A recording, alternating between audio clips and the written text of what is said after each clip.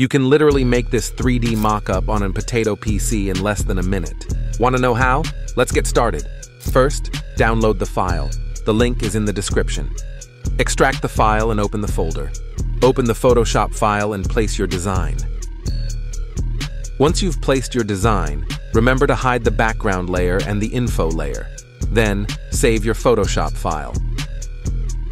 Now go back to the folder and open the 3D hoodie, no rendering Blender file.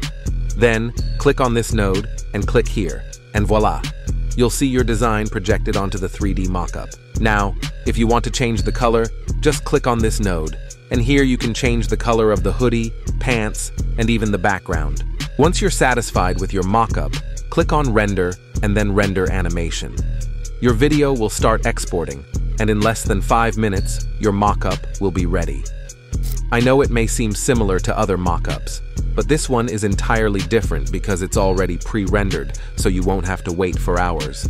But for the more experienced users, this mockup comes with an older version like the ones in my previous videos, which is more customizable but takes much longer to render.